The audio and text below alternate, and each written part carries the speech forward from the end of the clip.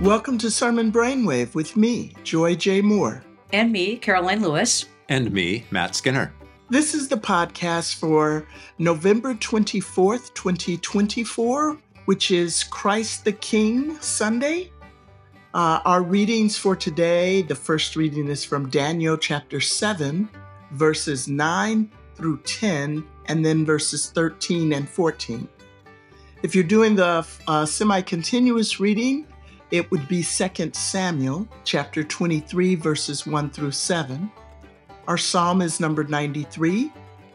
The second reading is Revelation 1, verses 4b through 8.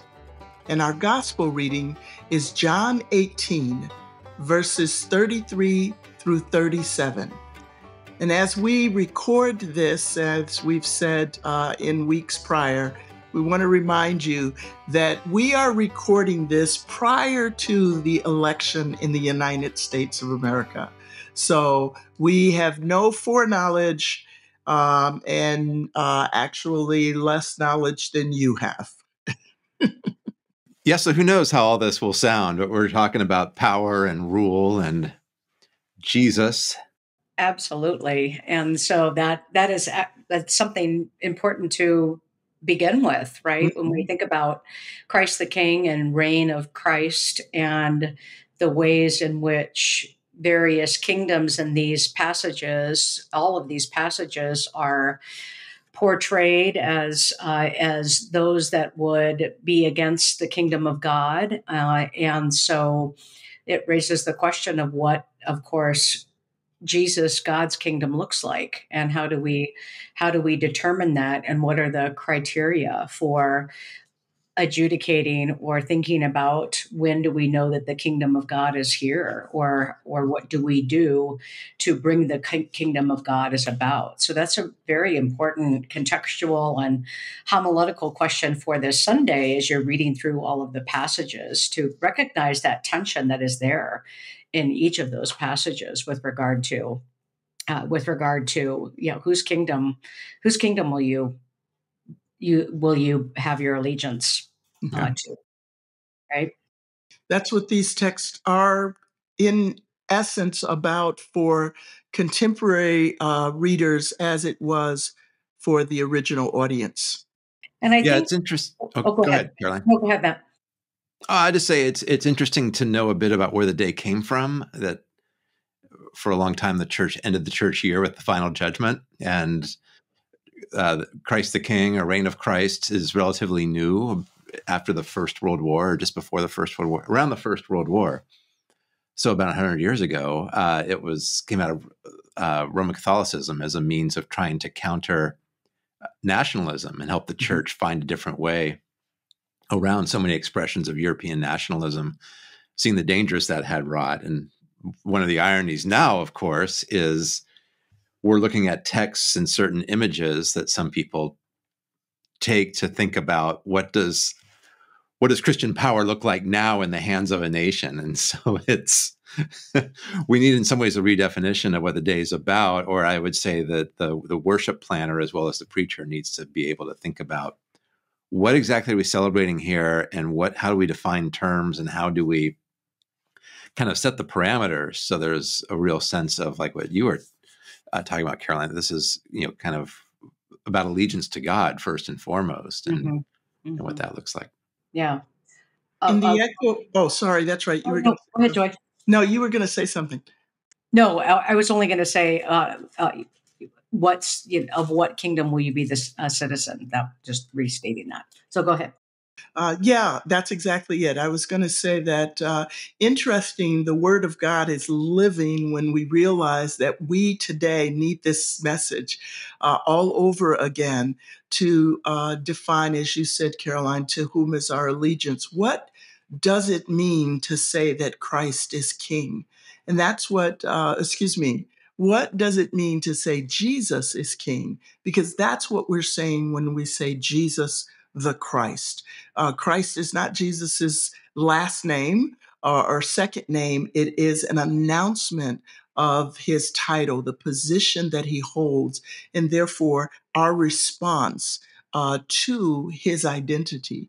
And um, we don't use the term king normally in the United States, but there are places around the world that are still under uh, in kingdoms. That would be how they would describe uh, their leadership and their governments. And so, whether we're talking about ourselves or them, um, it is indeed that question that you are asking, Karoline, and that is to whom is our allegiance? And I think too that question of what are the you know what are the criteria or what are what are the knowns of the kingdom of God? Uh, it can, as I said earlier, can be a, a way into each of these passages. And so, if we start with John, uh, here we are in the trial uh, narrative, in, or the the trial of Jesus before Pilate in John, and which is really quite extensive in John, and more so than the other uh, Gospels, and uh, and most commentators will divide this trial into seven scenes, or it's helpful to divide it into seven scenes to get a sense of who's on stage and at what time, where's Pilate, and such. So this is scene two. And it's the first inter- interrogation of Jesus by Pilate. And so those questions in and of itself are important, but it's also recognizing too that it's in this interrogation and in this moment where you know jesus ironically is on trial that you get this language of of my kingdom is not of this world and and my if my kingdom belonged to this world because you don't have kingdom of god language in the gospel of john uh, back in chapter three but it's really quite rare. And so here you uh, you get you get jesus himself really pointing Pilate to, you know, Pilate. Uh, Pilate says, "Are you the king of the Jews?" And uh, your own nation and chief priests have handed you over. What have you done? And then Jesus making the claim to, or the move to, my kingdom. And uh, and so it's after that interrogation that Jesus brings up this language of my kingdom and what does that mean? I have a few more things to say about that, but I think the context of that is really important. Yeah, the the setting is so key. He's he's bound we know he's already been struck in the face. And so Pilate's initial question is quite interesting, right? So you're the king of the Jews, huh? Mm-hmm.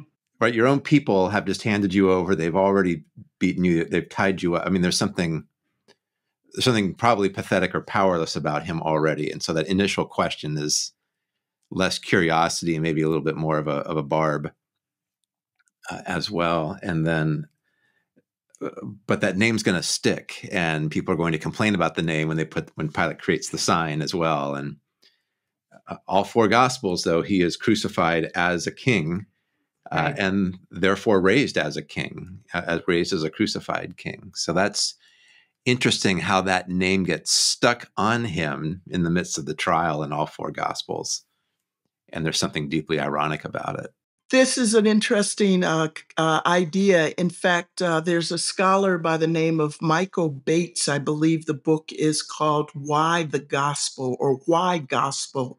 And uh, in it, uh, he makes the argument for um, the gospel being Jesus is king. And um, as you know, I'm down here in Montgomery. I've been teaching um, uh, the Old Testament because it's the fall term. And um, we spend all these times using this metaphor, which the ancient people would understand for power, and power would be the king. The king's character is how the people represent the king. So when uh, in the Old Testament we're talking about the character of God, the people bear the image of God's goodness. The people represent the king. Uh, in New Testament terms, we talk about being ambassadors for uh, Christ, for Jesus the King. And uh, this is a Sunday in this text where we can flesh out this idea uh, as you raised, Matt. What does it mean to be king if your own people are not respecting you are not lifting you up. And I guess the challenge would be how do we make that central as we proclaim this text, but also do it in a way where the response is, I will live my life as in submission to Jesus, regardless of how others are living their lives. Yeah, and I think a, a, couple other things with this text, and now I know we have what four other texts we have to talk about with through the lens of Christ the King, but Pilate's question is interesting to Jesus, what have you done? And Jesus doesn't answer that. Jesus doesn't say what he's done, rather, he points to who he is. And that is, a, I think that's a, a, another homiletical move one could take is that, and throughout the Gospel of John, John that's consistent that his acts, his signs are important, but they point at the end of the day, they point to who Jesus is and his identity. And so that's a way, I think, to interpret the presence of the kingdom of God or the presence of, of Jesus amongst us. It's not it's not the signs, it's what what's being revealed about what what is this kingdom revealing about who God is. And then the other thing is, I would add a little. You don't even have to add a half a whole verse. You can just add a half a verse which is I, I, do think you should add, add 38a uh, because everyone who belongs to the truth listens to my voice. And then of course pilate says well what is truth? And that is that that is an identifier of jesus power of what what does it mean what does it mean to call jesus king? It means that uh, he testifies to the truth which is goes back to 114 the word became flesh and, and dwelt among us full of grace and truth and it goes back to 14.6 i'm the way the truth and the life so that's another direction i think one could take with this sermon as well as to to say that the identifier or the marker of the kingdom of god at least for john is this Jesus testifying to the truth of his identity and what that means for uh, for uh, and the fact that he became it, that he's the Word made flesh. Well, yeah, and that, that identity is a particular kind of truth about a particular kind of God, right? So, yeah. Mm-hmm. Um, earlier, people try to take him, make him king by force, and he gets out of it. He sneaks away from that. Mm-hmm. And here, the conversation to Pilate, right? You know, if if I was really the king of a kingdom that was like yours, right? I would have let my people loose on you. I would have instructed them to fight for me. So when you remember, Pilate here holds every card, every advantage, every inch of, of power uh, in this discussion. And it's a really easy trial for Pilate to put somebody like Jesus to death. And so this is less a philosophical conversation about the nature of kingship and truth. And I think more of Jesus saying, Right. I am not one of you. Right? I am not everything that you think is true about how you get and hold power does not apply to me, which I think it's really important when we look at texts as well, like Daniel and Revelation in particular, which might tempt us to think, well, we're followers of Christ, therefore we get to control stuff, right? So where do you see that in Daniel? Well, you know, Daniel's a, Daniel's a vision of somebody being given power, and that somebody could be, as the commentary is really helpful to explain mm-hmm. the setting of this yep. during the Seleucid period and talk about Antiochus and this individual, this one like a human being, could be Israel as a whole, could be a particular king, could be an angel. Obviously, in Christian tradition, he's been taken to be a an image of, of Christ in some way. But his role is to um, is to control stuff. I mean, his role is to have dominion, is to make everybody serve him, to hold dominion. Kingship is one that shall never be destroyed. So, I mean, what does that mean about Jesus and the role Jesus occupies now, today, what does it mean to call him Lord of all? What does it mean when Paul says in Philippians, you know, every knee will bow, every tongue will confess that, that Jesus is Lord? Is this all of a sudden, now that Jesus is dead and raised and ascended, that now he gets to be like the regular kings of the earth? Or is it a different kind of reign? Like, how are we going to talk about that? How are we going to characterize that? So we don't fall into the trap of saying, all the self renunciation was great when he was being crucified, but now he's coming back to clean house, right? Now he's coming back to unleash that power that was always his that he was barely able to hold back like a dam straining against a bunch of rushing water. You know what I mean? I don't think that's what Well, I don't think that's I don't think that's what Christian faith says. I don't think there's a whole lot of evidence for that apart for some passages in the book of Revelation. So I want to be careful about how we imagine this kind of kingship. And for me, the, I'm talking too long. Sorry, but here the commentary is really helpful because it's basically saying all the empires of this world are going to be made subject to this. Right? There's a minimizing effect, right? And in the rule of God over the world, mm-hmm. Mm-hmm. or within the world, let's say. No, and I think that that is an, an important message of and a different kind of um, message and or a different kind of direction that one can take is what does it mean to say that as commentary says god is sovereign over history mm-hmm. and that rulers come and go but at the end of the day it's you know that what is that to be a citizen of the kingdom of god means to claim that sovereignty of god over all and that's yeah. that's important and for the ancients, history is not random at all. It's always controlled by some kind of superhuman force, whether you want to call those fates or deities or whatever. So to talk about Christ as Lord over all or ruling over the nations, uh, I, I, think we would understand that slightly differently today. It doesn't mean that Jesus is picking the winners of every election or that Jesus is deciding which nation's going to go to war with what nation at what date. No. It's interesting again reading this against thinking of God as king and Jesus as the incarnate God, in that that question, Karoline, that you pointed out, what have you done, becomes exactly how do we, what do we do in the name of this king? And so if what we do is the sign of the grace of God, the peace of God, and the promise that that peace will be made available to everyone, we don't look like other kings.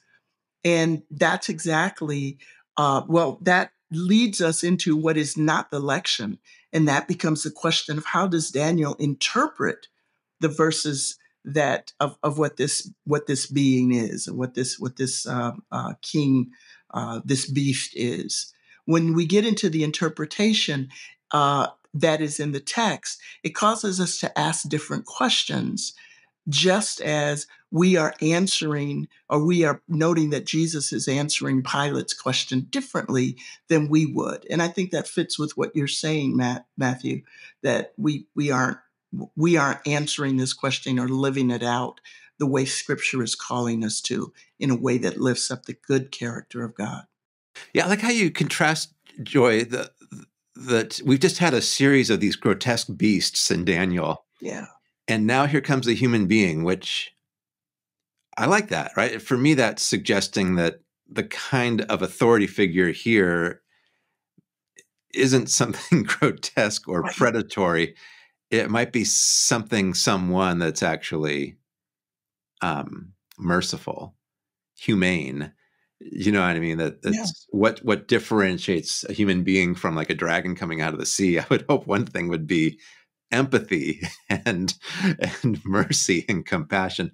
I mean, the text doesn't go there, but it's very interesting that it's not a different beast or it's not a lion. Even no. it's in, in the symbolism of Daniel. Yeah, yeah, and that idea of what, and that's why I tied it back to what have you done? When Jesus does answer those, or when Jesus does answer the question that John's disciples ask, Are you the one? It's look at the things that I have done. Yeah. And what are the things that, um, as you were talking, I, I, I confess, what are the things that the King God asks of God's people? And it is that they don't steal, they don't lie, they don't uh, bear false witness, they treat their neighbor well. They don't covet. That yeah. I'm I'm listing the Ten Commandments. And that's what worshiping, serving the true king is about. And we love the glamour of the beast. And what overwhelms the Holy One but are we actually the alternative? I appreciate the link, um, uh, Matt. Are we the alternative flesh that is not grotesque, but that is good? And by good, I mean just and humble. Yeah. which is a good segue, I think, to Second Samuel. Thank you. Because there you do have the you know this song of David of characteristics of God's reign, right? Which fundamentally uh, is known by just by by justice. The divine rule is just rule, and uh, and then also what the commentary helps with as well is that that that just that justice or that just rule is in part defined by abundance or or particularly the everlasting covenant or the the longevity of the covenant and so uh, there's a there's an arc of God's justice right mm-hmm. that is marked by uh, that is marked in part by covenant mm-hmm. and commitment mm-hmm. and uh, and what does that look like in the context of thinking about the kingdom of God or God's reign when you when you mark it with just uh, just rule, covenant rule, everlasting rule, commitment, longevity, and abundance. Uh, those are, I, I, think, those are worth thinking about as well. And in the in the context uh, of of just verse four, that um, and and I acknowledge that we're recording this just as um, the Gulf area and Florida are trying to figure out whether or not Milton is going to come and be full force when it hits hits land. And what is this goodness but the light of the morning, the sun rising on a cloudless morning, gleaming from the rain on the grassy land, which takes the things that are storm and tells us in the character of God, in the justice of God, the storms are not chaotic. The storms are beauty, uh, or excuse me, creation is beauty. Uh, and, and so the beast idea versus the humane idea, this storm idea versus the beauty idea, the philosophical truth that we can fight about or the practices of justice and mercy that cause us to recognize that maybe we don't have to be enemies. I can't think of an authority figure that's ever made me say this is like the sun rising on a cloudless morning, gleaming from the rain on the glass on grassy land. In other words, it's very aspirational. yes, yes, yes. But we're heading into a season, right? Mm-hmm. Oh yeah, yeah, yeah, yeah. Uh, the psalm. The, yeah, the psalm. Uh, I actually, this is a psalm I would maybe preach on because it also gives us entry into thinking about what does God's what does it mean to call uh, God king or think about the kingdom of God or the reign of God or the reign of Christ.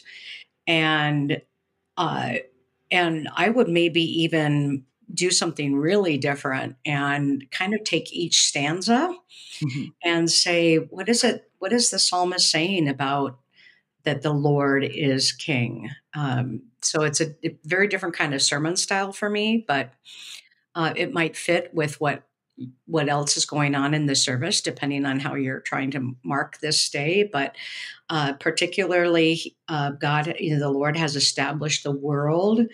Uh, that's God's king kingship, and it will never be moved. And so there's there's I think there's a lot of um, imagery here that you could just walk walk through and say, what does it mean to say, you know, the reign of the reign of God looks like this, or that the Lord is king. What does that mean? So something very different, but that's what I would do if I were preaching on the song. If you were preaching. And what does it mean for majesty to not be glamour and glory, but to be goodness and justice, clothed in majesty? And particularly in the face of chaos, right? In the chaos yes. of these waters. And mm-hmm. yes. Mm-hmm. I would preach on Revelation 1 if I was up this week.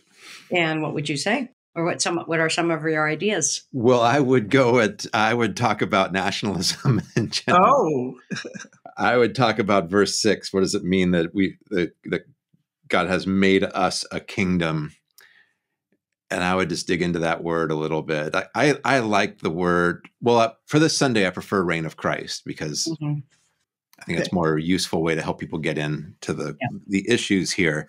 Mm-hmm. But when it comes to Jesus preaching the the reign of God or the kingdom of God, I like the edge of that word. I'm not a fan of of kingdom, which some people are prone to say these days, simply because they didn't kill Jesus for announcing a new kin. They killed Jesus for announcing a new kingdom, and I don't want to lose the conflictual edge mm-hmm. of his of his gospel in the first century. Mm-hmm. So here you've got, you know, past, present, and future, really present, past, and future in Revelation 1. You've got reference to Jesus Christ, the faithful witness. That's a reference to his death, mm-hmm. the faithful martyr firstborn of the dead, it's a reference to his resurrection, and the ruler of the kings of the earth, one who's now exalted. So the one who's exalted is still the one who's crucified. Mm-hmm. None of that gets erased, right? He's mm-hmm. so to use language elsewhere in Revelation, John's expecting to see a lamb, a lion, but instead he sees a wounded lamb or a lamb as standing as if it had been slain. So even even a book like Revelation doesn't fully want us to see Jesus as just nothing but strength and power. So I would want to explore that image of what does it mean that we are now made a kingdom, we are now made a reign by a crucified and raised and now ascended savior.